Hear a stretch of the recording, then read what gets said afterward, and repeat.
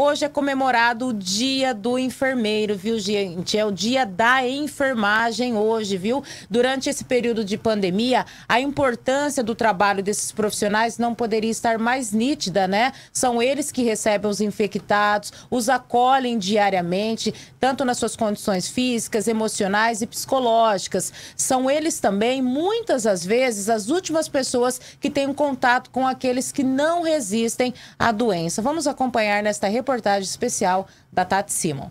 Essa é a dona Silvia. Ela é enfermeira e trabalha há quatro anos no Hospital Auxiliador aqui em Três Lagoas. Desde o início da pandemia do novo coronavírus, ela está lá, verificando a evolução dos pacientes, acolhendo e acalmando os internados. Em cada plantão, a dona Silvia resiste.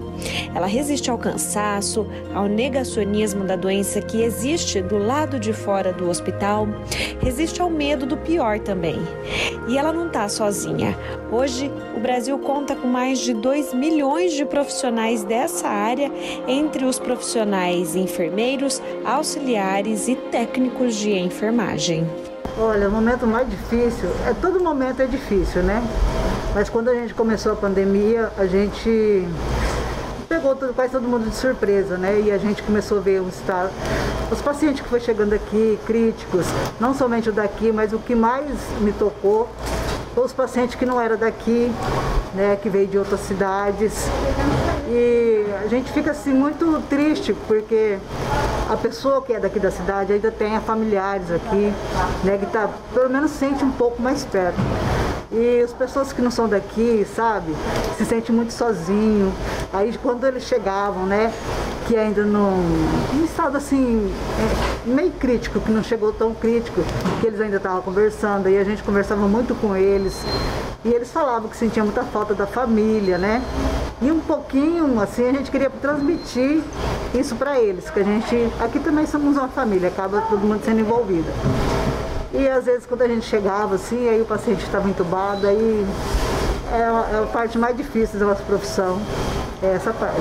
Dados do Ministério da Saúde apontam que pelo menos 484 mil enfermeiros, técnicos de enfermagem e auxiliares de enfermagem foram infectados pelo novo coronavírus até março deste ano. E pior, mais de 700 deles morreram desde o início da pandemia. Por outro lado, os números são mais confortáveis agora, já que os meses mais críticos da pandemia foram entre março e abril. As mortes por complicações da Covid entre profissionais da enfermagem caíram em todas as regiões do país no mês de abril. De acordo com o Conselho Federal da categoria, foram 24 registros no mês passado, enquanto que em março, 83 profissionais perderam suas vidas para a doença. As razões para isso: trabalhadores vacinados com as duas doses e EPIs com mais qualidade. A Silvia contraiu o coronavírus no ano passado. Mais recentemente, o marido dela também foi infectado e ela precisou se afastar do hospital porque entrou em quarentena junto com ele. Mas a Covid foi mais cruel com outros familiares. A enfermeira perdeu a irmã para a doença. Peguei sim, eu peguei em outubro do ano passado e estou voltando agora que meu esposo estava positivo também.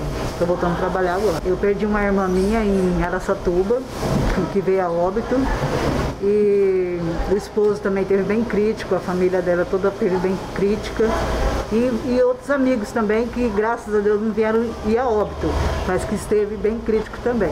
Mas que hoje está bem, graças a Deus. De acordo com a OMS, a Organização Mundial da Saúde, a pandemia evidenciou o déficit de profissionais nesse setor em todo o mundo. Em um relatório lançado pela organização, a estimativa é de que a carência seja de 6 milhões de profissionais. A valorização da categoria nunca antes foi tão reconhecida e tão necessária. Olha, é muito importante, sabe, a gente poder fazer o máximo para as pessoas poder transmitir um pouco, né? Porque a gente, não somente aqui, como filhos, a gente transmite um pouco os filhos, os cuidados que tem que ter. Para os vizinhos também a gente acaba falando também. E o cuidado que a gente tem que ter também, nós aqui que estamos na, na linha de frente, a gente tem que tomar o máximo de cuidado em paramentação, em tudo, porque a gente tem uma família lá fora, né? Então a gente tem que ter o máximo de cuidados mesmo.